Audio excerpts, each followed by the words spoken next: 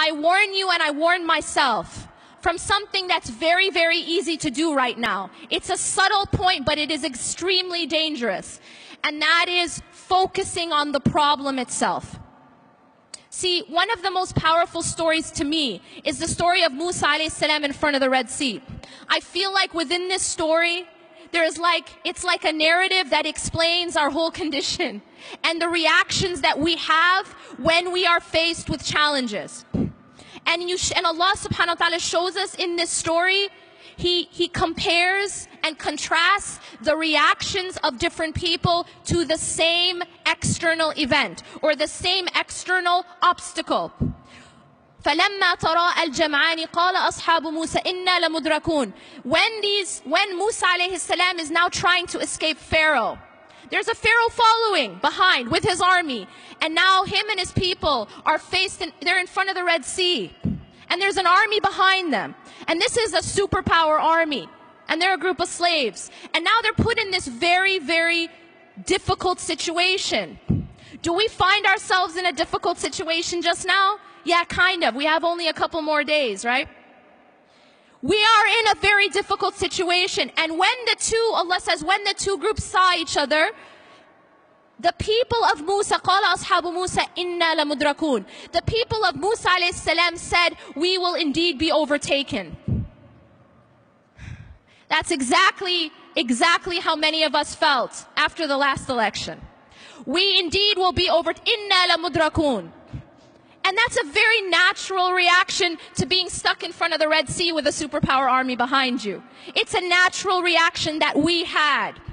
But I want to tell you something amazing, and that is the reaction of Musa alayhi salam. In that same exact situation, he's looking at the same situation, but his basira, his, his heart is looking at and focused on something else. قال كلا. He said, no. By no means. The word kalla, as you know, is a very emphatic no way, absolutely not. قال كلا إن معي ربي سيهدين. Indeed, my Lord is with me, and He will guide me through this. The reason why I love this story so much is because this story isn't just a story. It's awesome. It's something we tell our kids, but it isn't a bedtime story. It is a sign. And Allah actually continues to say in fi ayah that indeed in this is a sign, but most people don't get it. Most people don't understand. It is, you and I are never going to be in front of a large body of water with an army behind us, but we are going to be put in situations where we feel trapped. And we are going to be put in situations where we don't see a way out. And we, and we feel that way just now. We feel that way politically. We feel that way socially to a large degree. But what's so powerful here is how. How was Musa salam able to respond in that way? How was he able to say, no, we will not be overtaken. No, I'm not going to be shaken. I'm not even, I'm not even worried that we're going to be overtaken. Why was he able to do that? And the answer is because his focus was not on the problem. His focus was not on the, the Red Sea and his focus was not on the army. His focus wasn't on Trump. His focus was on Allah. His focus was that no, no, Inna ma'aya rabbi sayahdeen. My Lord is with me. And if Allah is with you, you don't have to worry. He will guide me through. Allah is teaching us a timeless lesson. We're gonna be put in situations where we feel trapped. That's a, that's a, that's a promise. We're gonna be put in situations that look impossible. And what also strikes me about his story is that he didn't know how he was gonna get out of that situation. It's not like people were going around splitting seas. This wasn't like a regular occurrence. And yet he did not worry, even though he didn't know how. See, for us, it's easy for us to say, oh, it's no problem because I got a plan, A, B, C, D. We know exactly how it's going to happen.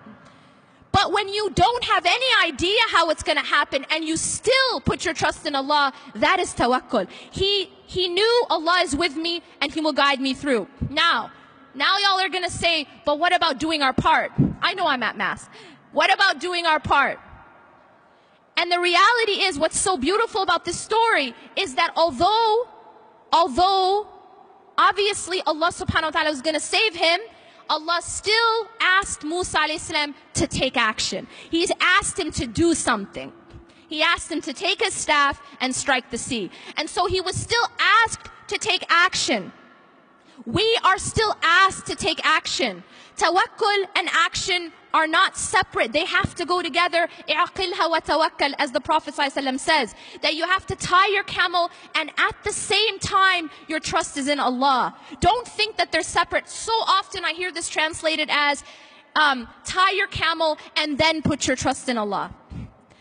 It's not, that's not what it says. It says, اعقلها وتوكل. When the man was told by the Prophet ﷺ, tie your camel and put your trust in Allah. The two are simultaneous. We don't work and then depend on our work and depend on our deeds for results. No, we work and we depend on Allah for results.